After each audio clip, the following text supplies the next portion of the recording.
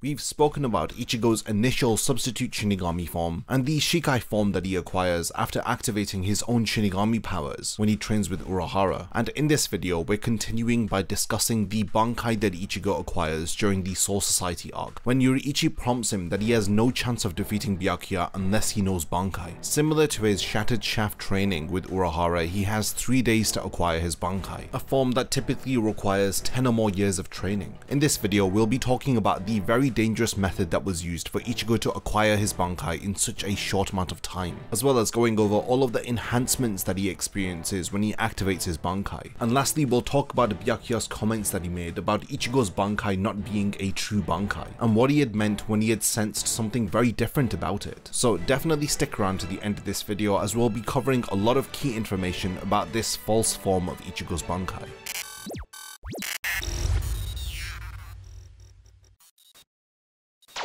New legends will be born as we give a massive thank you to Bloodline Heroes of Lithas for sponsoring this video. Heroes of Lithas is a card-based role-playing game that features an amazing 3D art style that brings the game to life via the easy-to-use controls on your vertically orientated handheld screens. This game features an impressive heir system that allows you to collect different champions and companions from a vast fantasy world. You can build the intimacy of characters, enabling you to forge brand new bloodlines through the marry feature, which gives birth to a whole new bloodline. You can merge the Orc bloodline with a Thunder Demigod bloodline to form a powerful new champion. The possibilities are truly endless. You also have the option to turn on sim gameplay, so you don't have to mindlessly grind for things. In order to celebrate the launch of this game, all of you can instantly receive an heir of the Dragonborn and Demigod lineage. This is one of the strongest merged bloodlines within the game, and you can have it for free. All you have to do is download download the game now using my link in the description or by scanning the QR code you see on screen. By using my code in the description, you will receive a champion token that will allow you to unlock a random bloodline and $20 worth of other items including 100,000 gold and 100 diamonds. So what are you waiting for? Use my code in the description and forge your own legacy.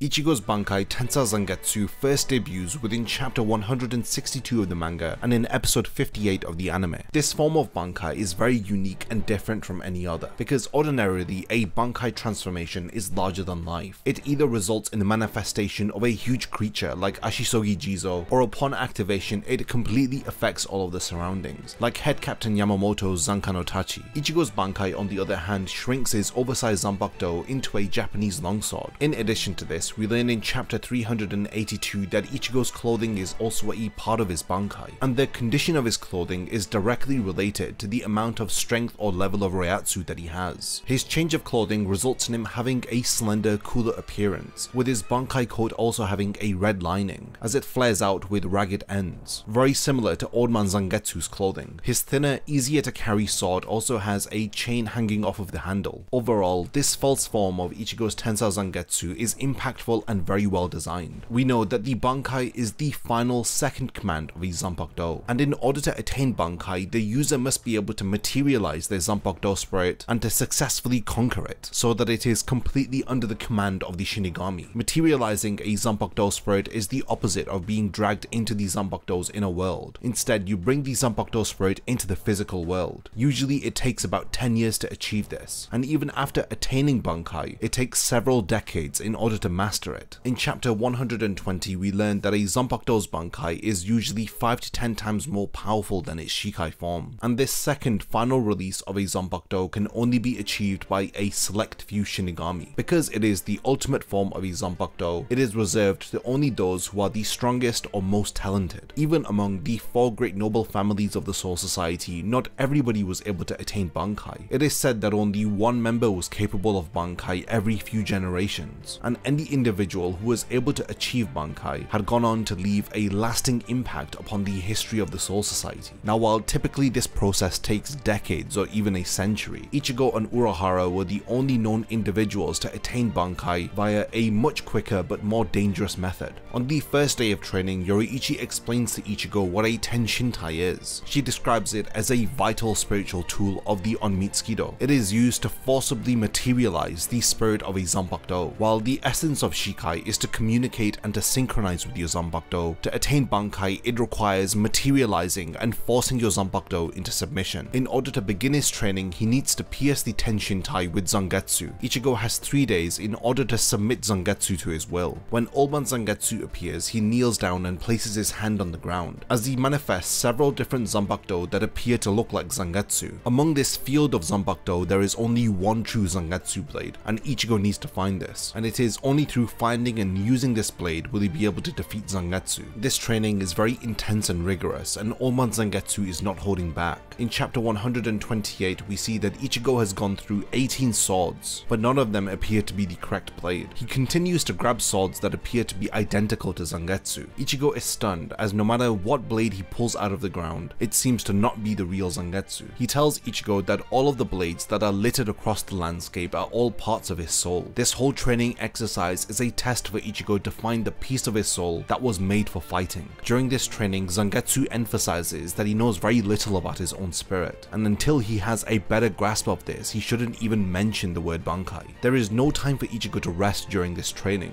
as Old Man Zangetsu constantly pushes Ichigo to get back up despite being heavily injured. In chapter 129, Ichigo has gotten through 51 blades. He remains persistent as he continues to try several different blades against his Zanpakuto spirit, but to no avail. Yoruichi is watching Ichigo's training from a distance, as she observes that Ichigo is gradually getting better. He is holding his stance even after his sword is being broken, and he is able to deflect the attacks of Old Man Zangetsu by matching the speed of his blade to that of his opponents. And after this successful block, he was instantly able to go on the offensive. Yoruichi states that Ichigo has come a long way, as before his training he was relying on Zangetsu's strength, but now during his training it seems as though he is learning at a frightening pace, and at a frightening level, and from her thoughts we can see that Urahara had predicted that this would happen, hence why he was confident with letting Ichigo go to the Soul Society after he had just acquired his Shikai. He was aware that Ichigo is very talented, and if Yoruichi is accompanying them, then she would be able to help him to acquire Bankai so that he could finally rescue Rukia. In chapter 130, Yoruichi comments that the sword that Ichigo is currently using, he has been able to fight with it for longer than 5 minutes. This is the point where Ichigo's first day of Bankai training ends. In chapter 132, we have some inner monologue from Yoruichi, as she comments that despite the fact that Ichigo is improving very quickly, and he has far surpassed the pace of an average Shinigami, but these improvements only appear to be limited to his combat skills, as his spiritual energy hasn't increased much at all. She questions if Ichigo can truly acquire Bankai within two more days. As she thinks about extending his training, she states that it's more than possible to do so, but when Urahara had devised this method of acquiring Bankai, he had stated that nobody else had done this, and it had taken him 3 days to achieve Bankai, but he does admit that if he extended his training time then it would have been dangerous. She recalls that Urahara had stated that Ichigo's gifts are greater than his own, so he should have no problem in attaining Bankai within 3 days. Yoruichi is worried that if she extends the training then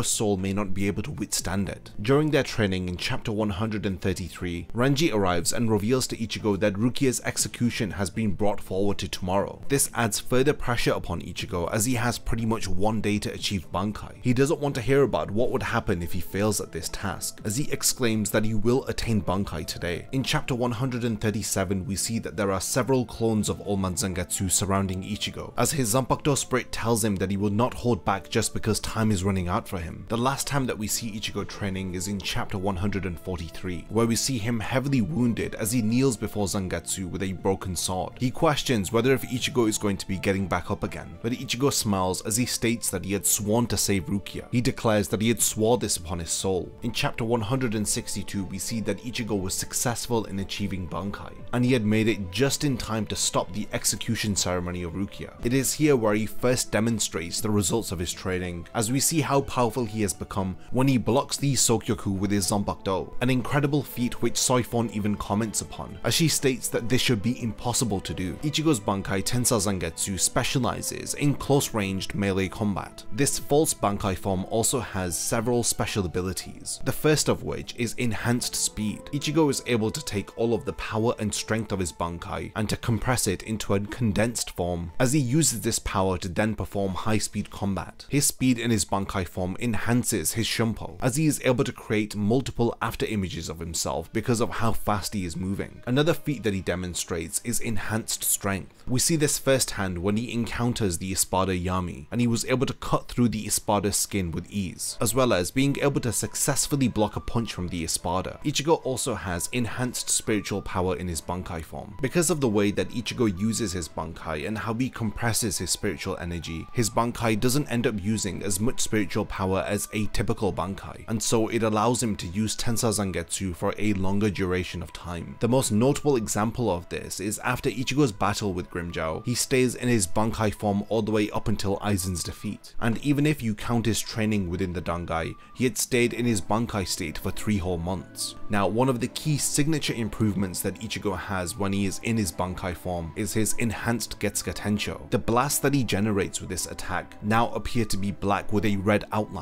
Ichigo is also able to control the path of his Getsuga Tensho, as well as adjust the power and speed of it. Ichigo refers to this enhanced form of Getsuga Tensho as Black Getsuga. Now when Ichigo had first used his Bankai in front of Byakuya, he had stated that it wasn't a true Bankai, as he had sensed something very different about it, and he was in disbelief of the fact that a normal human could have attained Bankai in such a short amount of time. A lot of this is explained through what we learn about Ichigo's character as the story progresses, and how he is far more than just an ordinary human. Even in this form, this Tensa Zangetsu was not Ichigo's true Bankai, it was only a fraction of his power, as we learn that Old Man Zangetsu was holding Ichigo back for the majority of the story. Despite this Bankai having been formed from a fraction of his power, it was still a stronger sum of the captains within the Gotei 13. Because a Bankai transformation is such a large spectacle, Byakuya had probably assumed that Ichigo had sealed his Zanpakuto and had tried to refer to it as a Bankai in order to mock the customs of the Soul Society, as he didn't believe that a small Bankai could exist. How could his oversized Shikai blade transform into a smaller blade? A Bankai of this nature is unheard of, and it is understandable why Byakuya was insulted after Ichigo had claimed that this was his Bankai. Unfortunately for Byakuya, Ichigo is just a rare breed, as he is convinced that Ichigo has attained some sort of a Bankai transformation when he witnesses the enhancements in Ichigo's strength and speed. Now I've always been fascinated by the throwaway comments that Urahara makes within the series, and the comments that he makes about Ichigo's gifts being greater than his own is very insightful, and it's a key bit of foreshadowing, as it proves that Urahara had known everything about Ichigo from the very beginning of the series. His prophetic words ended up being true, as Ichigo was able to achieve Bankai within two days, even quicker than Urahara, thus cementing himself as the fastest Shinigami to have attained Bankai to date. Of course, from this point onwards, there is a lot of potential for future growth when it comes to Ichigo's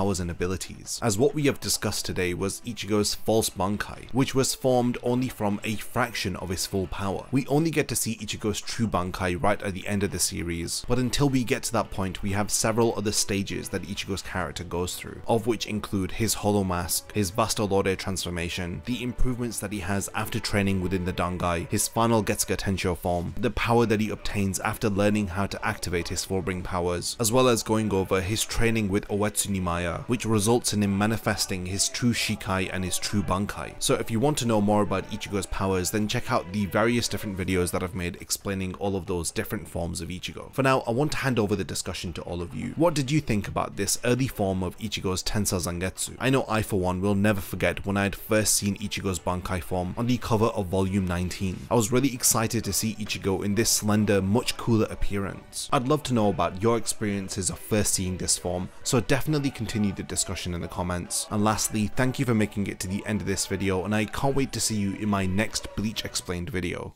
If you enjoy my content, then you can support my channel through Patreon for as little as a dollar a month, or even through YouTube by becoming a channel member. You will gain access to exclusive channel perks and a Discord server which I frequently use. So become a member of my Zero Division and be the first to know about my upcoming videos. And once again, thank you for sticking around till the end of the video and whatever you contribute will mean a lot to me.